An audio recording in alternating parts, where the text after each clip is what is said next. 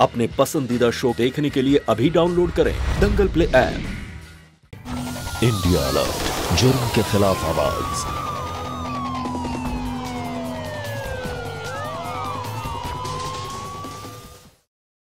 कर्पूरगौरम करुणावतारम संसारसारम भुजगेन्द्रहारम सदा वसंतम हृदयारविंदे भवम भवानी सहितम नवामि वक्रतुंड महाकाय सूर्यकोटि समप्रभ निर्विघ्नं कुरु मे देव सर्वकारेषु सर्वदा।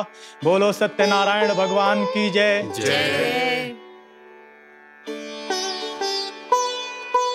ईशा बेटा आओ सबको प्रसाद दो। जी।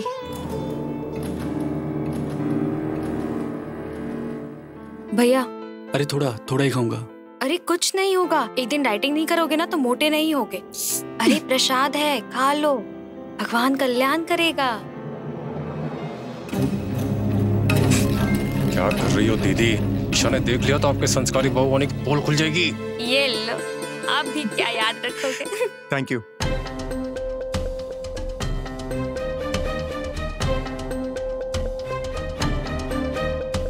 भाभी?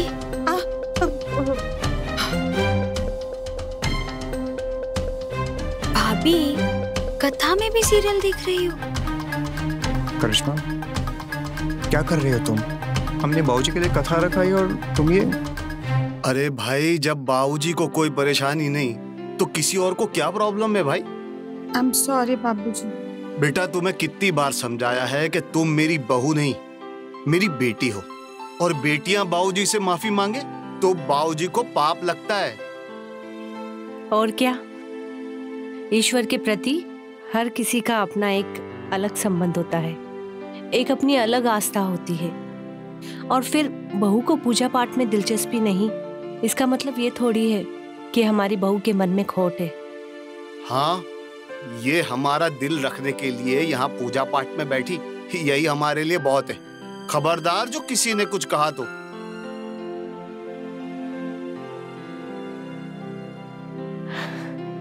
सुनिए सब आपका इंतज़ार कर रहे हैं। हम्म चलिए आप भी। जी। सॉरी ध्यान दो।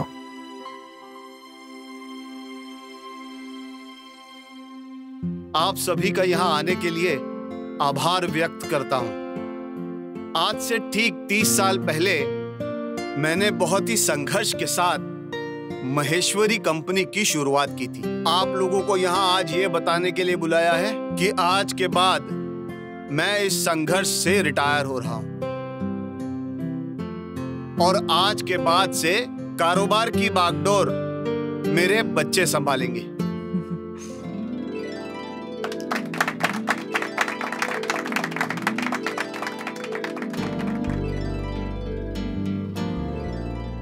कॉन्ग्रेचुलेशन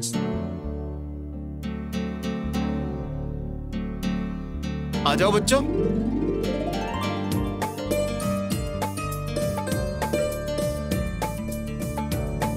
उम्मीद करता हूँ कि जिस तरह से आप लोगों ने अब तक मेरा साथ दिया आगे भी उसी तरह से इन लोगों का साथ दोगे। Congratulation thank you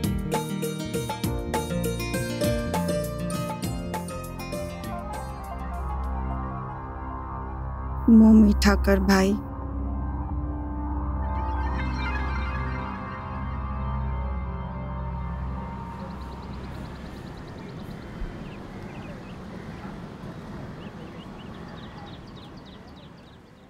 am very sorry भैया बट हम आपसे एग्री नहीं करते।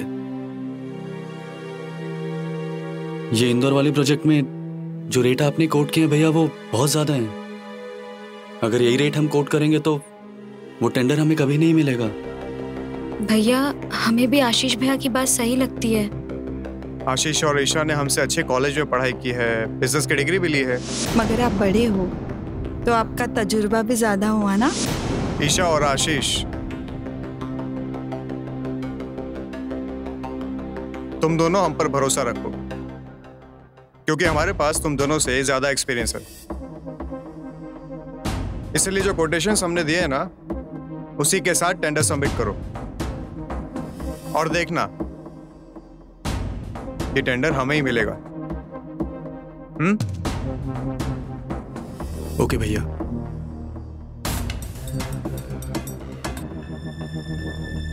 भैया हमें लगता है कि हमें प्रेम भैया को बिना बताए एक टेंडर कोड सबमिट कर देना चाहिए। ये तुम क्या कह रही हो ईशा? भैया को पता चलेगा तो? तो वो खुश होंगे। देखिए वो भी कंपनी का भला ही चाहते हैं। जस्ट बिकॉज़ उनको लगता है कि हम छोटे हैं और हम गलत फैसला ले रहे हैं वो हमें ये टेंडर नहीं कोट करने दे रहे हैं। लेकिन एक बार अगर हमें टेंडर मिल गया तो वो हम पे भरोसा करने लगेंगे और हमारे फ्यूचर के लिए भी ये सही है। तुम सही कह रही हो ईशा। एक काम करो तुम कम रेट के साथ ही टेंडर कोट कर दो। जी भैया।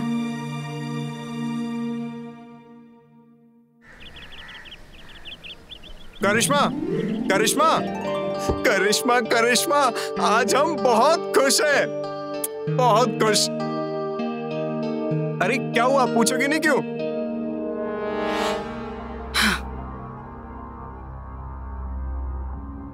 आपको इंदौर वाला टेंडर मिल गया है। है ना?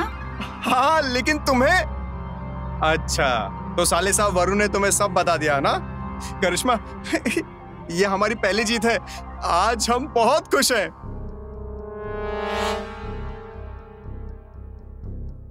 एक्चुअली हमें समझ नहीं आ रहा है कि आपको बेवकूफ़ कहूँ या पागल। ये तुम क्या कह रहे हो करिश्मा? एक्चुअली जिस टेंडर के लिए आप इतना खुश हो रहे हो ना वो आपकी वजह से नहीं, आशीष और ईशा की वजह से मिला है। उन्होंने कम कोट किया है, आपसे बिना पूछे।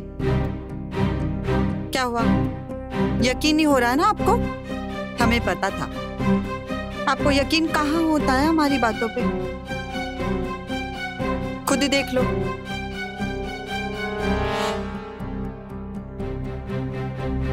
यू बेवकूफों की तरह यहाँ खुश होने से बेटर है। पहले सच्चाई जान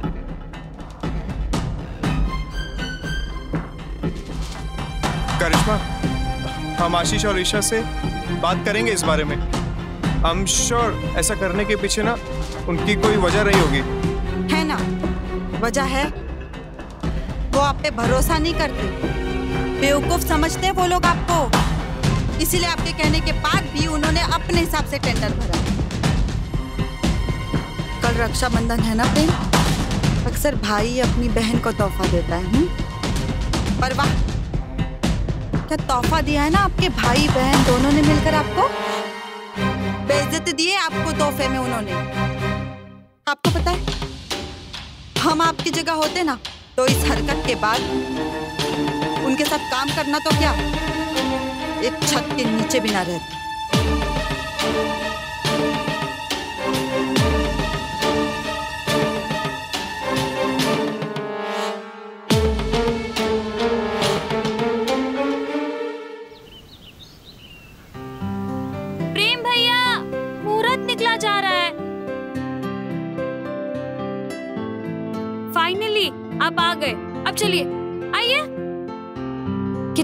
इंतज़ार करवाते हैं भैया। बैठिए।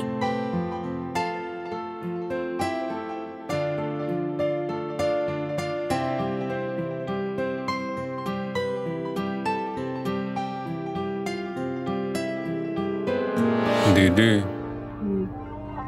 आपने इन चीज़ों को टेंडर वाली बात बताई थी ना? वो कोई तमाशा क्यों नहीं कर रहे हैं?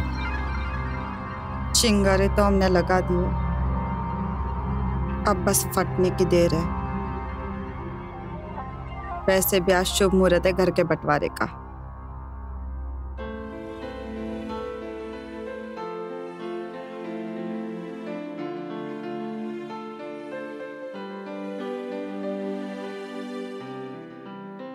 अब ये प्यारा सा तोहफा मेरी प्यारी सी बहन के लिए।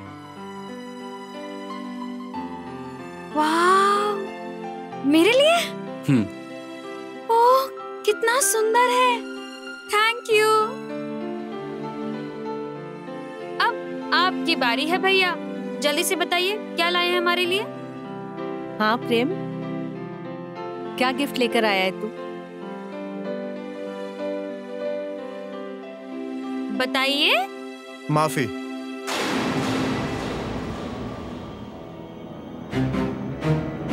ईशा? हम तुम्हें और आशीष दोनों को तोहफे में माफ़ी देना चाहते हैं। माफ़ी? किस बात की माफ़ी? अपने बड़े भाई की बेइज्जती करने के लिए। क्या? उनका भरोसा तोड़ने के लिए। उनके बिज़नेस ऑर्डर्स को ना फॉलो करने के लिए और उनके पीठ के पीछे जाने के लिए। नहीं भैया ऐसा बिल्कुल नहीं है। हमारा इंटेंशन आपको इंसल्ट करने का नहीं था। हाँ भैया हम तो बस कंपनी का भला चाहते थे और कुछ नहीं। पहले साफ़ साफ़ बताओ बात क्या है? हुआ क्या है आखिर? हम बताते हैं बाबूजी। ईशा और आशीष को लगता है कि इस बिज़नेस को संभालने की काबिलियत हम में नहीं है। है ना ईशा? नहीं भैया ऐसा बिल्कुल भी नहीं है। झूठ मत बोलो!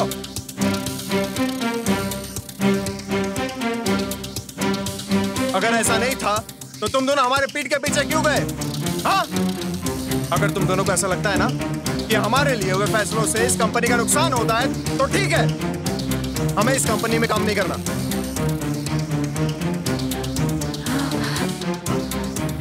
हम आज अभी और इसी वक्त ये घर और ये कंपनी दोनों छोड़कर जा रहे हैं।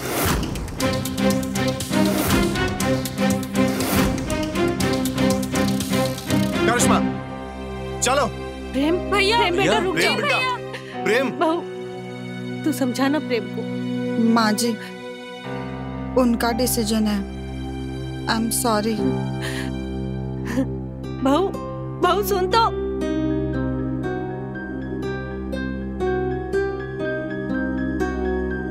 भैया प्रेम अगर हमसे कोई गलती हो गई हो तो हम माफ़ी मांगते हैं उसके लिए। हाँ भैया ऐसी गलती दोबारा रिपीट नहीं होगी आप घर छोड़ के मत जाओ। भैया। भैया भैया प्लीज़ भैया। भाभी भाभी। बेटा। मत जा रुक जाओ बेटा। माँ बाबू जी हमें माफ़ कर दीजिए बस। भैया भैया।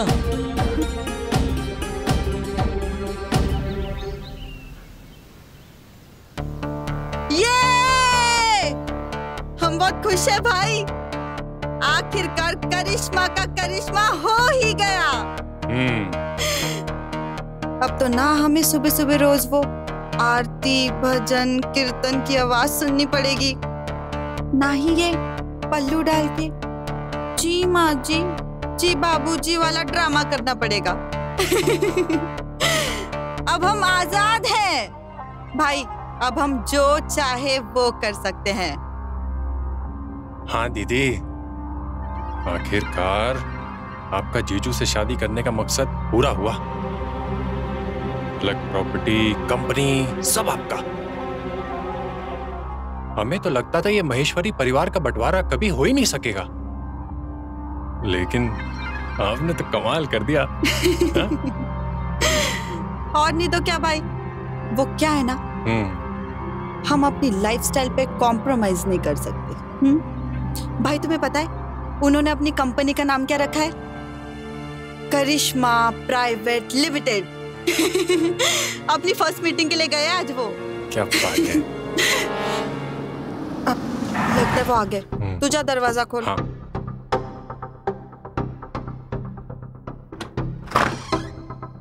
अरे जीजा जी कैसी गई मीटिंग?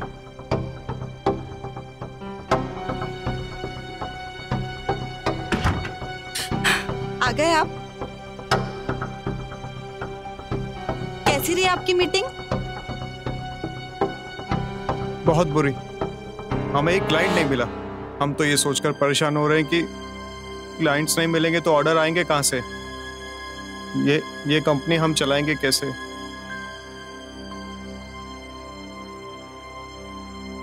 डोंट वरी आप एक काम क्यों नहीं करते? आप माहेश्वरी एम्पायर्स के क्लाइंट को क्यों नहीं कांटेक्ट करते? जब उन्हें पता चलेगा कि आपने एक अलग कंपनी खोली है तो आपके साथ ज़रूर काम करना चाहेंगे। हुँ? नहीं करिश्मा। हम अपने भाई बहन के खिलाफ नहीं जा सकते। और महेश्वरी एम्पायर से हम कभी compete नहीं करेंगे। अरे अगर आप ऐसा नहीं करेंगे तो उन्हें पता कैसे चलेगा कि आप सही थे और वो गलत। अगर आप उन्हें बिज़नेस में नहीं हराओगे तो वो हमेशा यही सोचते रहेंगे कि आप बेवकूफ़ हो, आपको कुछ नहीं आता। हम्म?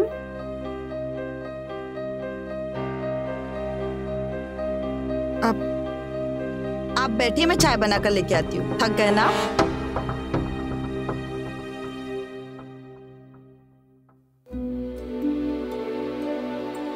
बाबूजी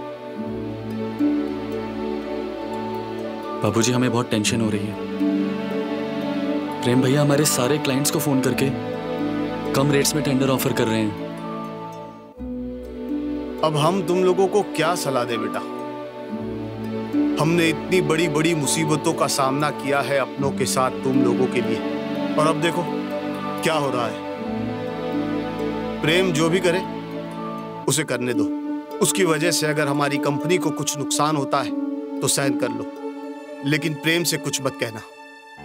बाबूजी हम यहाँ अपने फ़ायदे या नुकसान की बात ही नहीं कर रहे हैं। हमें तो प्रेम भैया की फ़िक्र है। वो जिस तरह टेंडर इतने कम रेट पे कोट कर रहे हैं अगर वो ऐसा ही करते रहे तो उनकी अभी शुरू की हुई कंपनी शुरू होने से पहले बैंक हो जाएगी। बाबूजी हमें लगता है कि हमें एक बार प्रेम भैया से बात करनी चाहिए।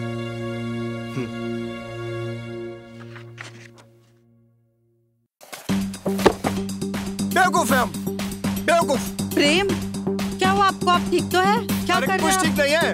हम बेवकूफ़ हैं बस।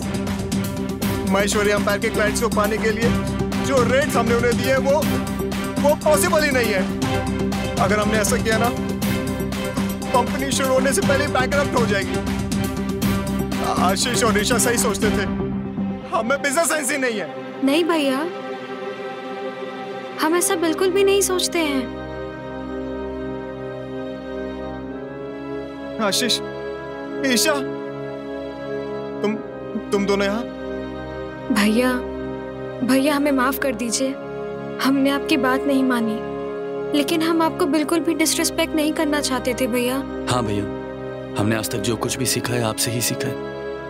आपके बिना हम कुछ नहीं है भैया। भैया वापस आ जाइए। हमें आपकी बहुत ज़रूरत है। प्लीज़ भैया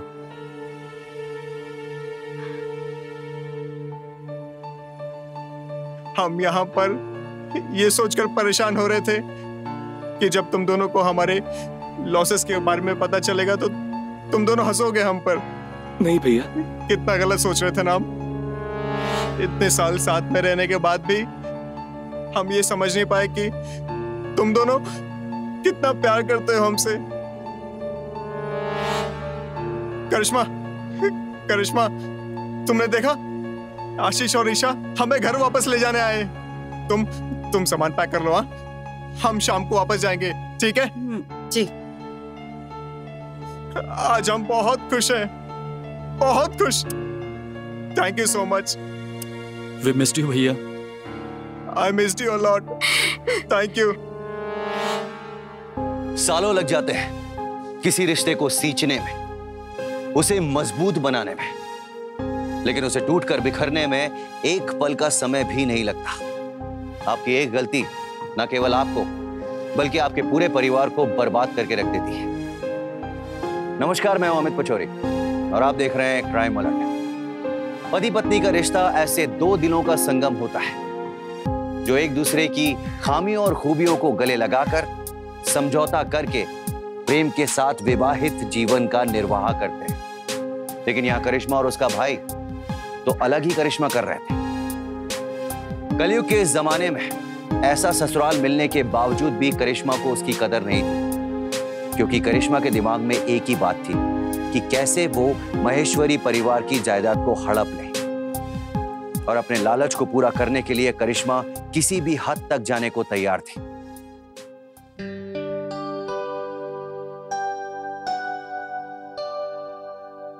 वाह करिश्मा। ये सब क्या है? तोहफा?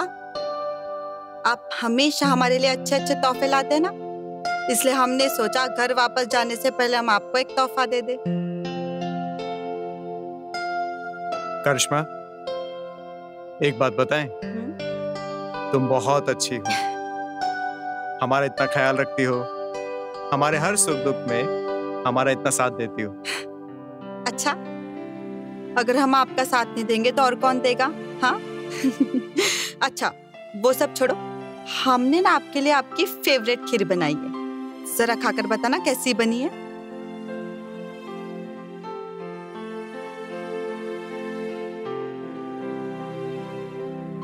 हम्म खीर तो बहुत अच्छी है। अच्छी है ना? लो और खाओ।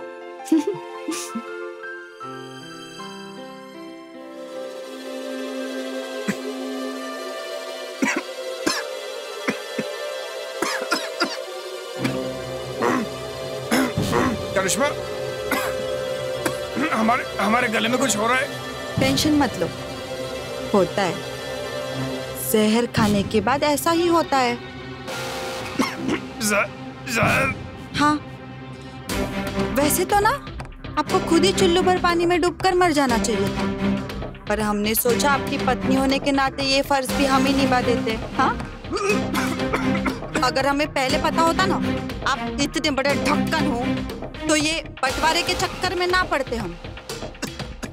पहले ही आपको मार देते मारोगे हमें?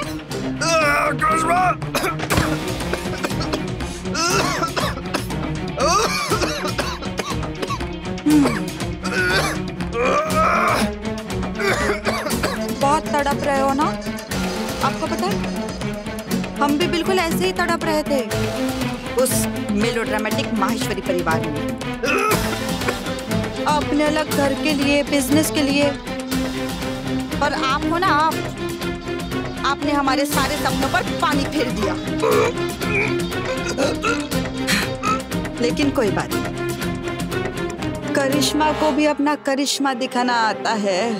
हम्म?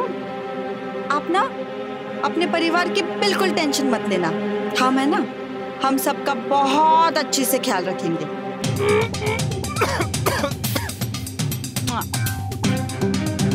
गुड बाय पति देव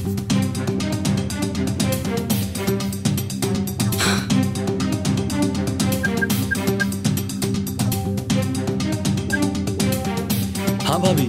हेलो देवर जी। आप आप लोग जल्दी आ जाइए। वो वो प्रेम ने प्रेम ने जहर खाकर आत्महत्या कर ली। ये क्या कह रहे हो भाभी आप? प्रेम हमें छोड़कर क्यों चले गए देवर जी? भाभी मैं मैं, मैं अभी आता हूँ अभी आता हूँ।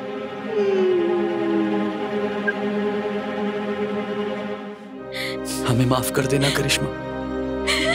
और हमारी तरफ़ से हमारे परिवार से भी माफ़ी मांग लेना। हम में किसी का सामना करने की हिम्मत नहीं थी इसलिए फ़ोन पे ही मैसेज कर रहे हैं। हम एक बोझ थे महेश्वरी एम्पायर पर और पूरे परिवार पर। हम किसी के काम आने वाले नहीं थे, इसलिए अपनी जान दे रहे हैं। तुम अपना ध्यान रखना और और मेरे पूरे परिवार का भी ध्यान रखना। ये मेरे भैया का आखिरी मैसेज था।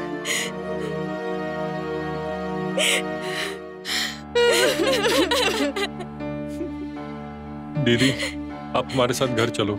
जीजू के जाने के बाद हम आपको यहाँ अकेले नहीं रहने देंगे। बेटा करिश्मा हमारी भी बेटी है। हम इसका ख्याल रखना चाहते हैं। इसलिए इसे हमारे पास ही रहने दो।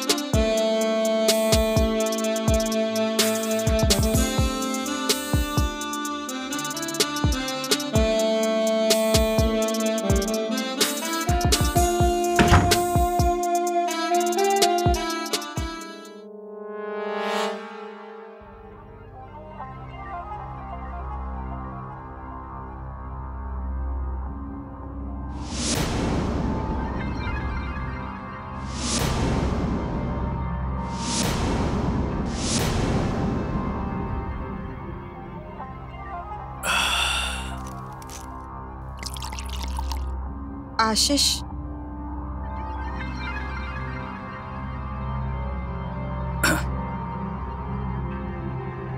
क्या बात है देवर जी?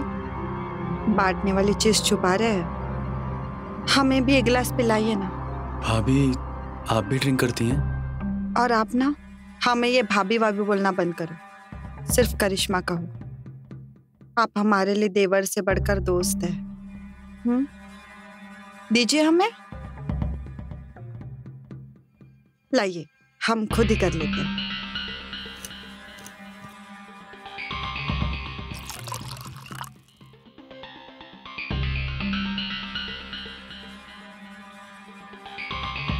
और रही बात शराब की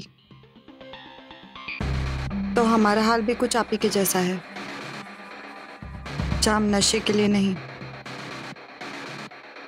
कम बुलाने के लिए पीते हैं बस।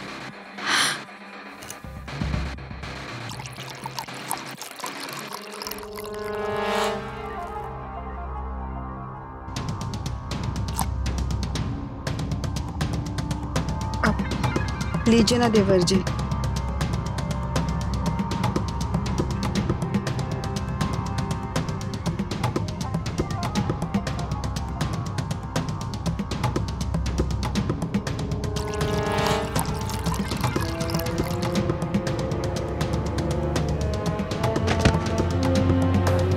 समय आ गया है करिश्मा के अगले करिश्मे का।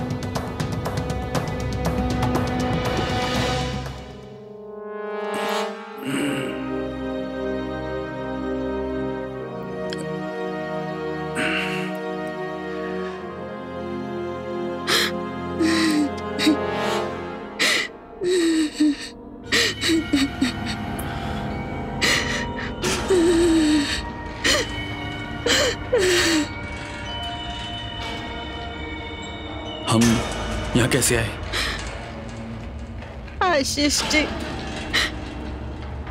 कल रात जो कुछ भी हुआ क्या आपको कुछ भी याद नहीं? नहीं। क्या हुआ कल रात को? कल रात हम दोनों गार्डन में शराब पी रहे थे। और उसके बाद आपने नहीं ऐसा नहीं हो सकता। आपने हमें रोका क्यों नहीं? कैसे रोकते हम? आपने हमसे कहा कि आप हमको पसंद करते हो। और सच तो ये आशीष जी। हम भी आपको बहुत पसंद करते हैं। इसलिए चाहते हुए भी हम आपको रोक नहीं पाए। लेकिन आपको तो कुछ याद ही नहीं। इसका मतलब कल रात जो कुछ भी हुआ, सब झूठ था। जवाब दीजिए आशीष जी। क्या कल रात आपने हमसे झूठ कहा? क्या आप हमको पसंद नहीं करते? करते हैं। लेकिन हम दोनों कभी कभी एक नहीं हो सकते। क्योंकि जो रिश्ता आपका और भैया का था वो हमें कभी एक नहीं होने देगा। आशीष जी प्रेम और हमारे बीच रिश्ता था। पर अब ना तो रिश्ता है और ना ही प्रेम।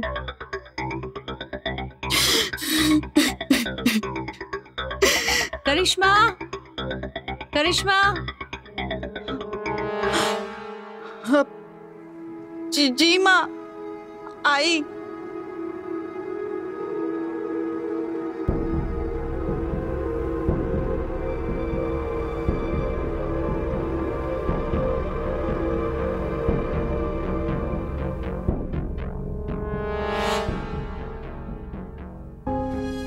इंसान अगर अपने दिमाग का सही तरीके से इस्तेमाल करे तो वो बड़े से बड़े मर्ज और बड़ी से बड़ी महामारी की दवा खोज सकता है।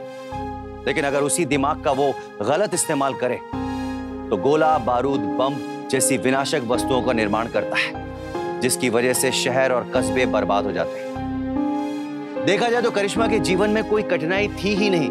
उसे एक अच्छा पति मिल गया था, एक अच्छा ससुराल मिल गया था। लेकिन इन सब के बावजूद भी लालसा और लालच से भरे हुए उसके दिमाग में एक के बाद एक षड्यंत्र की रचना हो रही थी। आप सोच रहे होंगे कि एक औरत होकर ऐसी घिनौनी हरकत करने का ख्याल भी मन में कैसे आ सकता है? तो आगे चलकर करिश्मा जिस हैवानियत को अंजाम देने वाली थी, उसे देखकर आपकी रूह तक काँप जाएगी।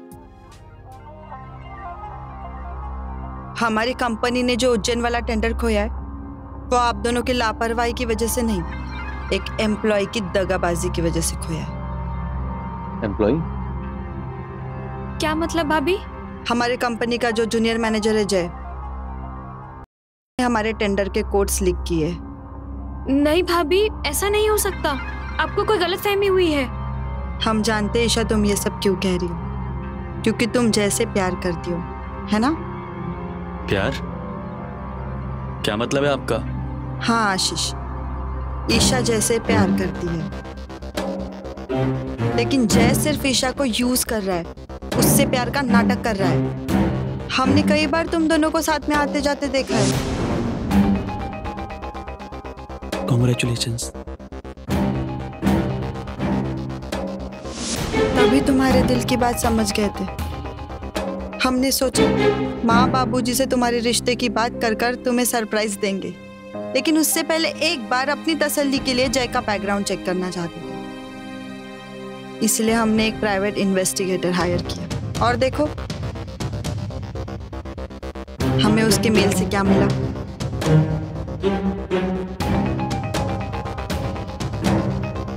ईशा, जय ने ही ये टेंडर के कोड्स लिख किए हैं। वो एक नंबर का मतलबी और लालची इंसान है।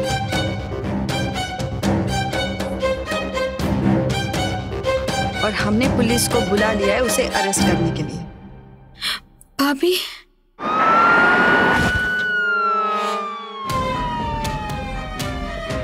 ले चलो इसे। मैम सर देखिए ना मुझे कहाँ लेके जा रही हैं। शायद इनको कोई गलत फहमी हुई है। मुझे तो कुछ भी समझ में नहीं आ रहा। आप प्लीज़ कुछ बोलिए ना। चलो ले चलो इसे। Ma'am sir ma'am ma'am. सुनिए। हम्म? हमें ईशा की बहुत फ़िक्र हो रही है। प्रेम के गम से उभरे ही नहीं थे कि हमारी बच्ची का दिल टूट गया। हमारी तो समझ में नहीं आ रहा है कि आखिर जय ऐसा कैसे कर सकता है। हमने खुद उसे नौकरी पर रखा था। और उसने हमारे साथ काम भी किया है। और आज देखो वो किस तरह से बाबूजी अब जो हो गया है उसके बारे में सोचकर टेंशन लेने से क्या फ़ायदा? हमें अब आगे की सोचनी चाहिए। हमें लगता है कि हमें जल्द से जल्द ईशा की शादी कर देनी चाहिए। शादी? ये आप क्या कह रही हैं? शादी और इस वक्त? हाँ।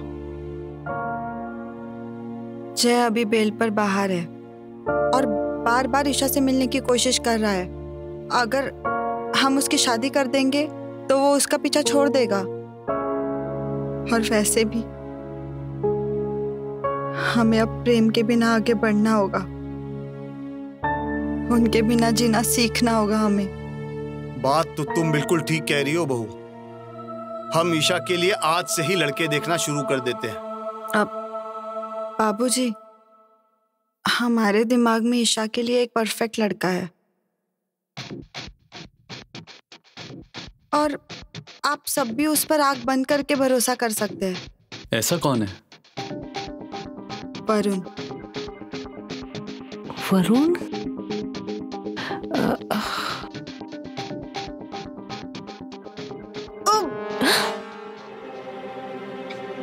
क्या हुआ बहू? सब ठीक तो है? पता नहीं माँ जी कुछ दिनों से हमारी तबीयत ठीक नहीं लग रही। बहुत जी मचल। बहू। बहू।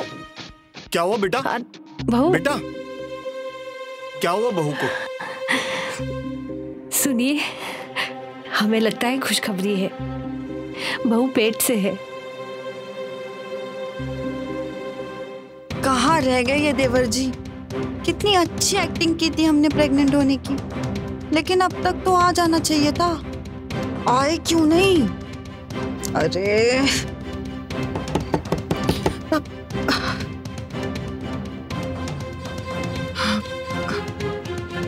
जाइए।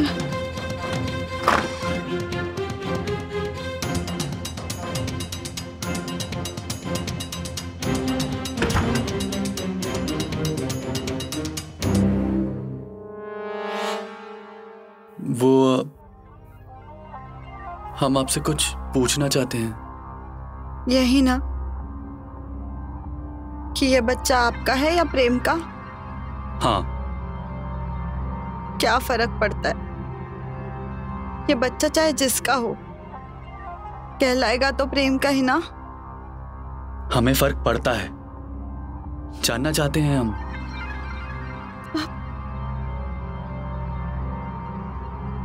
क्यों कर रहे हैं आप हमारे साथ ऐसा?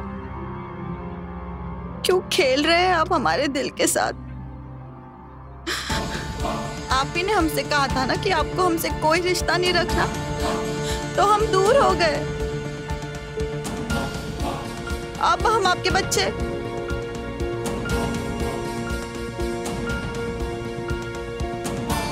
मतलब ये बच्चा हमारा ही है। हाँ।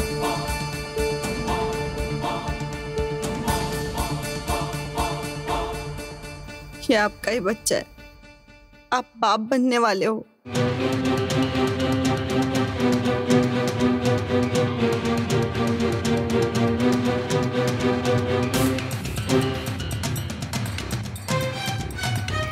घबराइए मत। हम किसी से कुछ नहीं कहेंगे।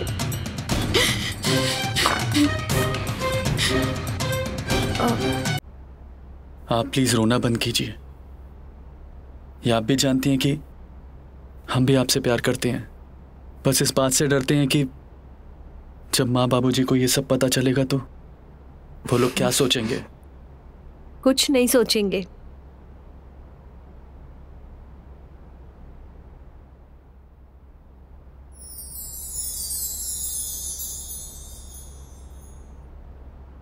हम खुश होंगे कि इस बच्चे को माँ और बाप दोनों का प्यार मिलेगा। और इससे बड़ी खुशी की बात क्या होगी कि हमारी करिश्मा को आगे का जीवन अकेले व्यतीत नहीं करना पड़ेगा। देखना, हम कल ही पंडित जी को बुलाते हैं और ईशा और वरुण की शादी के साथ साथ तुम दोनों की शादी भी तय करेंगे।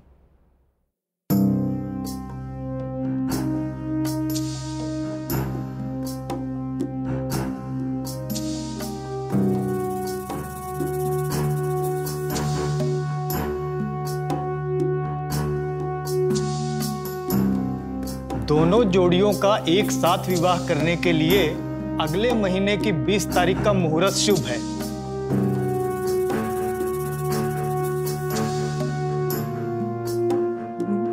मुबारक हो बेटा। धन्यवाद पंडित जी। अरे वरुण वहाँ क्यों खड़े हो? आके बड़ों का आशीर्वाद लो।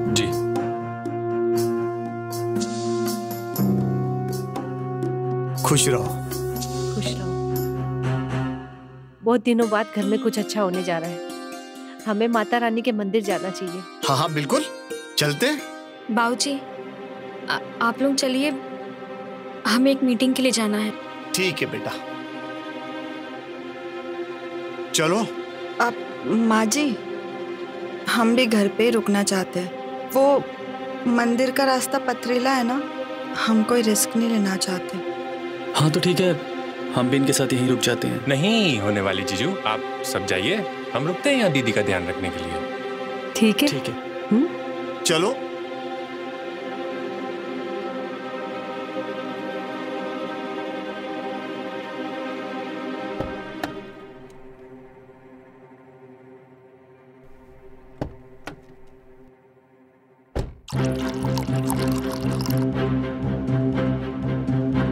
हेलो दीदी। चीयर्स चेयर्स भाई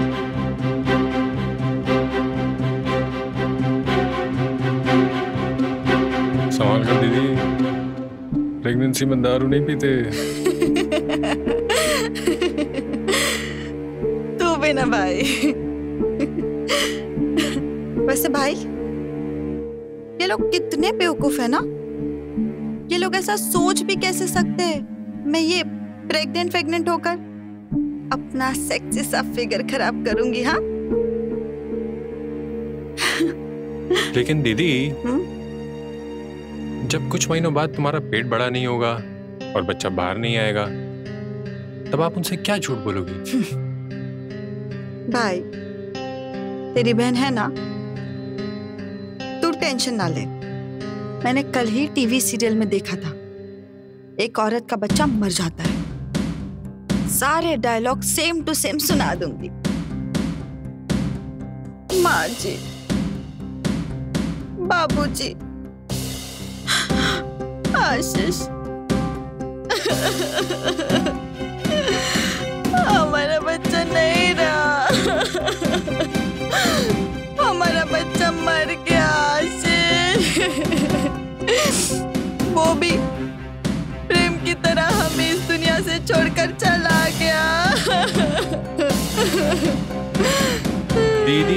ओवर एक्टिंग कर रही हो? पकड़े जाओगे? करिश्मा के करिश्मे को जब पुलिस ना पकड़ पाई तो ये लोग क्या चीज़ है? तुझे याद है ना? कैसे हमने प्रेम को मारकर उसे सुसाइड बता दिया? कैसे हमने जय के खिलाफ झूठी शिकायत दर्ज करके उसे नौकरी से निकलवा दिया? ये लोग क्या चीज़ है? इन्हें तो हम ऐसे ही संभाल लेंगे। वाह भाभी आप कितनी अच्छी एक्टिंग कर लेती हैं। लेकिन बस अब मैं आपको हमारे परिवार को और बेवकूफ़ नहीं बनाने दूँगी। मैं सबको सच सच सब बता दूँगी। छोड़ो मुझे छोड़ो छोड़ो मुझे।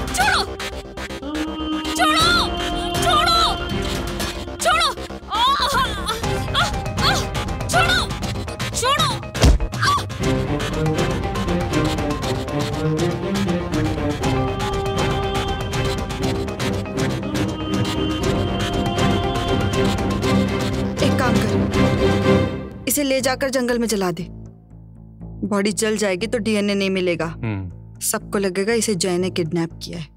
हाँ ये अच्छा आइडिया है। अब कौन आया होगा? दीदी बताओ जल्दी क्या करें इसका? वरुण वरुण सुन। तू इसे ले जाकर कहीं छुपा दे। मैं, मैं कुछ करती हूँ। जा जल्दी।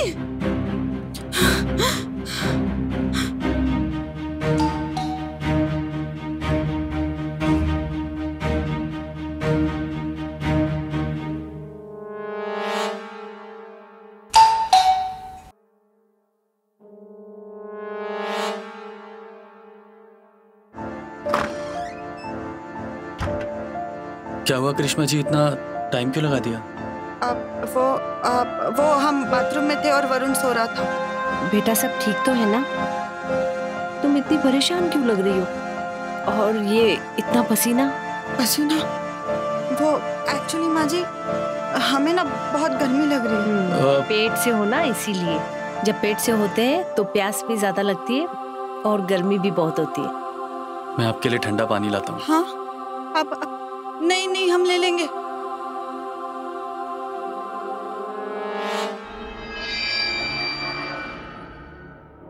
ये क्या है?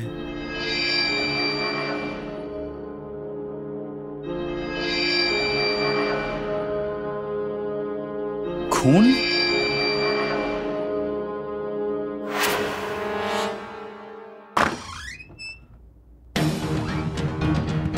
ईशा? ईशा।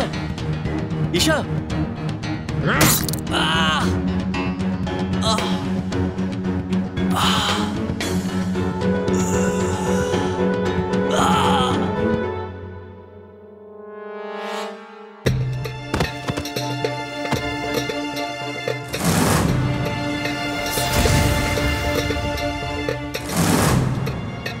आशीष बेटा। आशीष।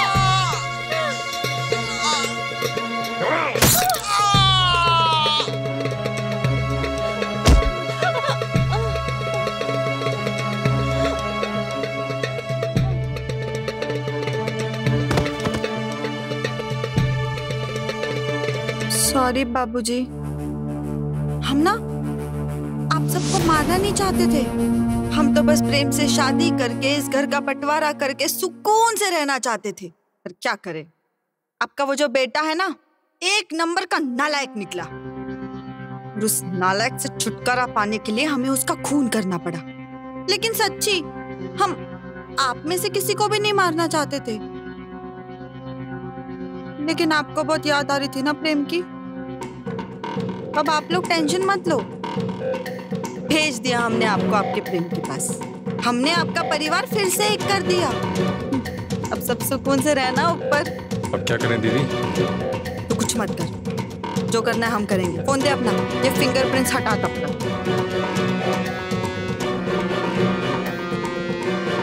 हेलो इंस्पेक्टर साहब। हम हम माहेश्वरी हाउस से करिश्मा बोल रहे हैं।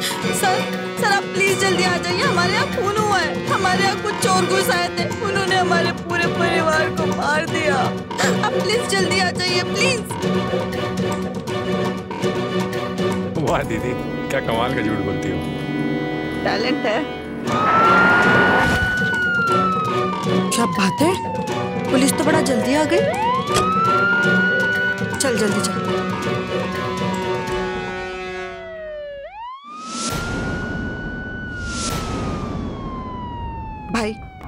कुछ भी मत बोलना मैं सब संभाल लूँगी। मैंने सीरियल में देखा है पुलिस को कैसे हैंडल करते हैं। ठीक है चुप रहना।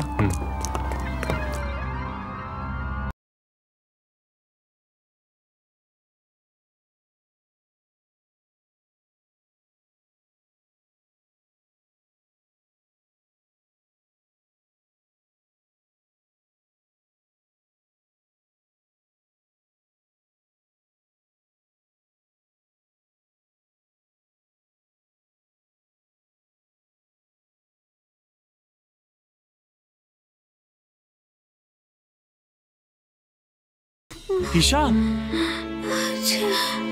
ईशा।